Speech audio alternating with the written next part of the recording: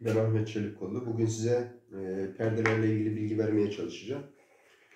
E, ilk başta perdelerin e, özelliklerinden bahsedeceğim. Ondan sonra e, perdeler e, sistemimizde nerede kullanılabilir? Onlar hakkında bilgi vereceğim. E, biliyorsunuz çerçeveli sistemler esnek sistemler. E, çubuk sistemi olduğu için. Perdeli sistemlerde e, daha ziyade e, rigid sistemler. Rigidliği çok büyük. En ideal sistemlerde ne demiştik? Ne çerçeveli ne perdeli sistemler. E, sünekliği çerçevelerden alan, rigidliği perdelerden alan ortak bir sistem. Yani çerçeveli perdeli sistemler e, en ideal sistemler. Mümkün mertebe e, taşıyıcı sistemlerimizde de e, bunu kullanmamız e, gerekli. E, perdeler biliyorsunuz en önemli özelliği kesme kuvvetlerini alıyor ve e, ötelemelerde problem çıktığı zaman bu perdeler vasıtasıyla bunu e, engelleyebiliyoruz. E, perdelerin e, uç bölgesi e, oluşturulması zorunlu değil. Sadece bazı durumlarda zorunlu. E, zorunlu olan durumlarda şu, eğer perdemiz kısalıysa e, malum e, uç bölgelerde basınç ve çekme kuvvetleri oluşuyor. Bu çekme ve basınç kuvvetlerini almak için de oralara küçük koloncuklar oluşturuluyor ki bu koloncuklara da biz başlık diyoruz. E, bunun oranı da şu. Şöyle bir bina düşünelim. Şöyle bir bina düşünelim. Yaklaşık 7-8 katlı bir bina olsun. 8 katlı bir bina olsun yaklaşık olarak işte 4 metre kat yüksekliği desek 32 metrelik bir bina. Eğer benim burada bir perdem varsa 4 metre uzunluğunda 4 metre uzunluğunda bir perdem varsa e, binamızın yüksekliği neydi? Çünkü bu perde bütün bina boyunca yükseliyor. 32 bölü 4 8 bu oran biliyorsunuz büyüktür. 2'den büyük olduğu için bu artık e, kısa perde hükmünde Dolayısıyla bunlardan başlık oluşturulabilir. Kısa perdelerde neden başlık oluşturulur? Hemen onun bir mantığına bir bakalım. Şu bir kısa perde, kısa perde. Deprem kuvveti geldiği zaman malum şurayı yukarıya kaldırmaya çalışacak. Şu kısmı da aşağıya indirmeye çalışacak. Dikkat ediyorsunuz burada çekme kuvveti var. Burada basınç kuvveti var. Dolayısıyla bu çekme kuvveti ve basınç kuvvetini almak için de sanki şu uç noktalara böyle küçük koloncuklar oluştursam bunları daha rahat aldırabilirim gibi e, düşünülmüş. Peki uzun perdelerde bu durum söz konusu değil mi? Uzun perdeyi bir düşünelim. Yani e, diyelim ki e, 4 katlı 5 katlı bir bina yaklaşık olarak işte 20 metre. 7-8 e, metrelik perde koyduğunuzu düşünün. Oranda 2'den küçük olduğunu düşünün. Yani bir kısa perde. Yaklaşık olarak işte 8 metrelik bir perde düşünün. 800 santimlik. Buradan bir yatay yük geldiği zaman e, bu perde aynı şuradaki gibi hareket etmez. Yani buradaki yukarıya kalkıp buradaki de aşağı inmez. Yani burada tam basınç, burada tam çekme oluşu diyemeyiz. Bu perde abartarak çiziyorum. Adeta bir kabuk şeklinde şöyle çalışır.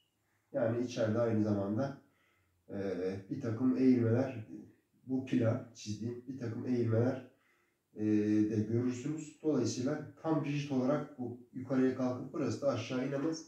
Dolayısıyla bu uzun perdelerde daha ziyade bu basınç ve çekme kuvvetleri çok belirgin değildir. Bu nedenle uzun perdelerde başlık kullanılmaz. Ha, kullanmak istiyorsanız kullanabilirsiniz. Zorunlu değil ama kısa perdelerde bu anlattığım nedenlerden dolayı e, başlık kullanmak zorundasınız.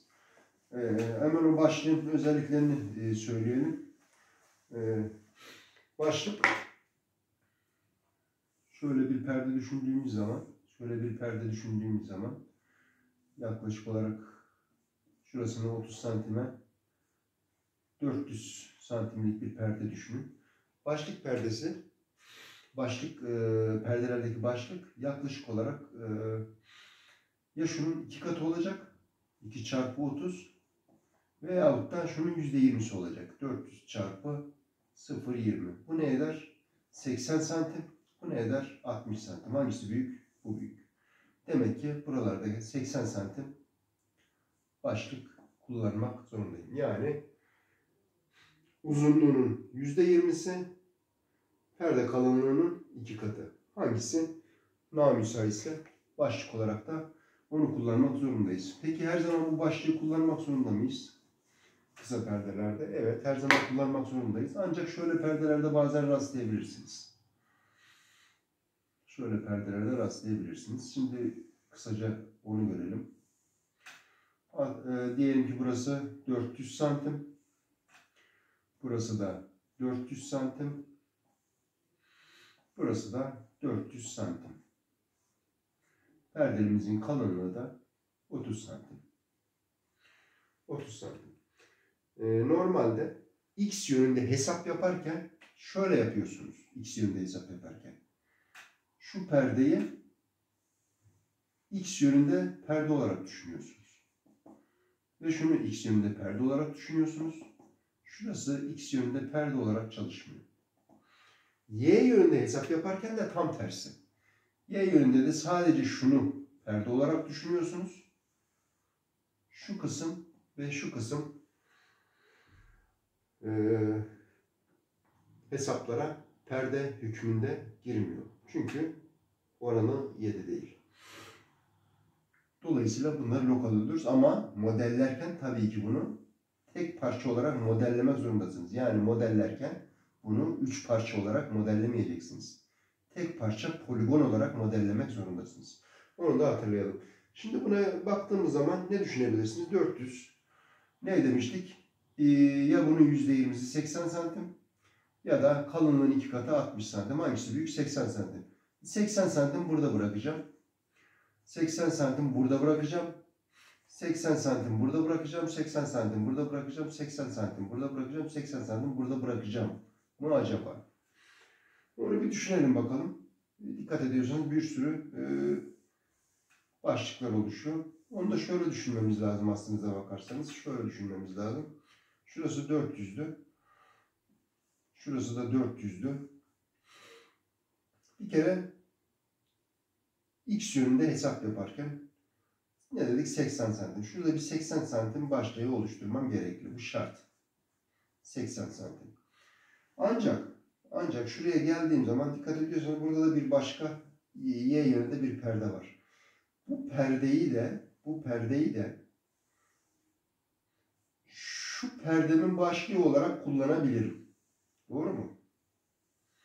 Bu perdemin de başlığı olarak kullanabilirim. Yani buradan 80 santim başlık yapmama gerek yok. Çünkü bu başka bir perdeye gelmiş. O zaman burasının 80 santim olmasına gerek yok. Peki ne olması gerekli? Ona bir bakalım. Ben buraya eğer şu perde olmasaydı başlık olarak kullanacağım yer. Oranın alanı ne edecekti? 80 santim çarpı 30 santim başlığın alanından bahsediyorum. 2400 santimetre kare edecekti. 2400 santimetre kare edecekti. Yani ben burada başlık olan bölgede 200, 2400 santimetre kare yer ayırmam lazım. Yalnız yönetmenimizde bir de şöyle bir madde var. Diyor ki başka bir e, perdeyi bile başlık olarak kullansanız diyor normalde diyor hesap yaptığınız perdeye diyor 30 santim gireceksiniz. Yani bir kere ben şu 30 santim şuraya girmek zorundayım. 30 santim buraya girmek zorundayım. Burası da ne etki geriye kaldı? 30 santim, 60 santim. Dikkat ediyorsunuz 80 santim değil. Yani ben perdemin başlığını 60 santim olarak düşünürsem ne olur? 60 çarpı 30 1800 santimetre kare dikkat ediyorsanız. Oysa benim şu alanım 2400 santimetre kareydi ve burada da benim 2400 santimetre kare e, bırakmam gerekiyordu. Dolayısıyla bir 600 santimetre kare eksiğim var. İşte o 600 santimetre kare eksiği de buradan tamamlayacaksınız. Burası 30'du. Demek ki buradan da 20 santim daha geleceğim. 30 çarpı 26 edecek. Demek ki şu kısmı da bakın tam başlığım bu oldu. Gördünüz mü? Bu perdenin başlığı. Burası 80 santim. Burası 60 santim ve 20 santim de buradan. Çünkü şu perdeyi aynı zamanda bunun başlığı olarak kullandım. Bunun hepsini diğerlerine de yansıtabilirsiniz. Şu, şu perdeyi hesaplarken de bu perdeyi yine başlık olarak kullanacaksınız. Mantık aynı. Başlık alanlara sizin oluşturduğunuz başlık alanlara e, toplamda e, oradaki e, başlık alanını e, tutmalı. Perdeler nereye konur? Onu da e, anlatalım. Perdeler nerelere konur binalarda? Onu bir anlatalım. E, şöyle bir kalıp planı düşünelim. Şöyle bir kalıp planı düşünelim. İşte kolonlarımız var. Kolonlarımız var. Bunları ben tamamen gelişi güzel çiziyorum. E, kolonlarımızı tamamen gelişi güzel çiziyorum şöyle kalıp planında.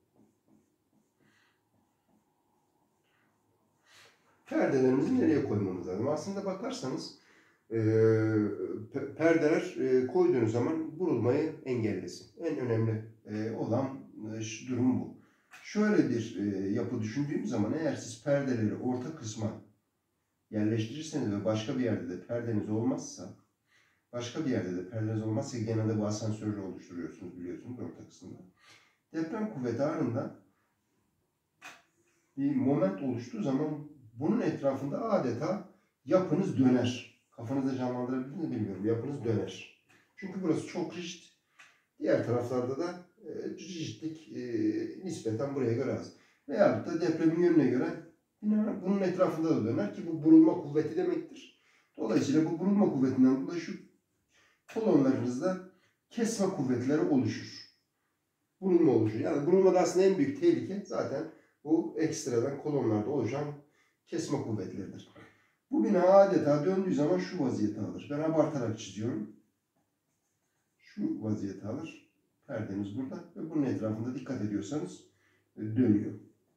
E bunu engellemek için sanki ben şöyle yapmam olur, iyi olur. Şu dış taraflara bir e, perde koyarsam, dış taraflara bir perde koyarsam binaya evet döndürmeye çalışacak.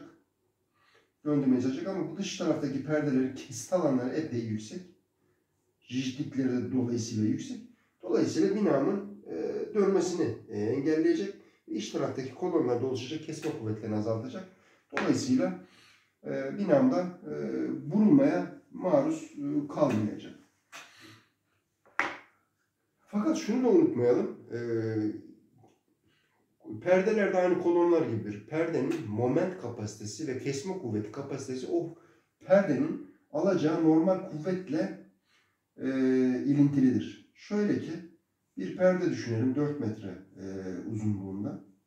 4 metre uzunluğunda. Bu perdeye 100 ton bir normal kuvvet gelsin. Yine aynı şekilde düşünelim. 400 santim uzunluğunda bir perde. Bu perdeye de 30 ton civarında bir normal kuvvet gelsin. Bu çizdiğim plan. Normal kuvvet ne kadar büyükse perdede Aynı kolonlarda olduğu gibi onun moment kapasitesi de o kadar büyüktür. Kesme kuvveti kapasitesi de büyüktür. Normal kuvvet ne kadar azalırsa sizin o perdenizden e, o perdenizin moment kapasitesi o denli küçüktür. Dolayısıyla kesme kuvveti kapasitesi de küçüktür. Yani ben bir perde planlıyorsam, programlıyorsam aslında sanki bu perdenin normal kuvvetlerinin biraz daha yüksek olmasına da özen göstermem lazım. Yani o perde daha fazla normal kuvvet almalı. Oysa biz demin ne demiştik? Perdeleri dış tarafa koyarsak diye düşünmüştük. E dikkat ediyorsanız perdeleri dış tarafa koyarsak e, sanki normal kuvvet biraz az gelecek. Çünkü yük dağılımını düşündüğümüz zaman şuralardan dış kısımlarda. O halde biz belki de şöyle bir şey düşünebiliriz. Ben perde koyayım, burulmayı da önleyeyim ama bu perdelere e, dış kısma değil de belki bir aks içe koyarsam daha iyi olur. Bir aks içe koyarsam hem burulmayı alabilirim hem vurulmayı alabilirim. Bir aks içe koyarsam hem de bu perdelerin alacağı normal kuvvetler hep bu döşemelerden, keçilerden geldiği için daha büyük olur. İç kısımdaki perdeler daha büyük olduğu için de daha çok moment kapasitesine sahip olur. Daha büyük kesme kuvvetlerine sahip olur. Dolayısıyla sanki perdeleri en dış aksta değil de en dış aksın bir içerisinde normal kuvvetleri daha fazla alacak şekilde içeride e, planlamam daha iyi olur. Böylece e, hem moment kapasitesini ve kesme kuvvet kapasitesini artırmış olurum. E, perdelerimin hem de bu şekilde vurulmayı önlemiş olurum. Yani perdeyi ortaya koymaktan kaçınmış oluyorum. En dışa koyup da normal kuvvetini e, azaltmaktan kaçınmış oluyorum. İyi çalışmalar dilerim.